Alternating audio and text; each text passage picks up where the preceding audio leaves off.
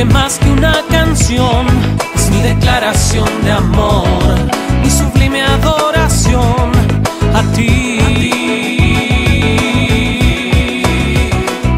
Señor.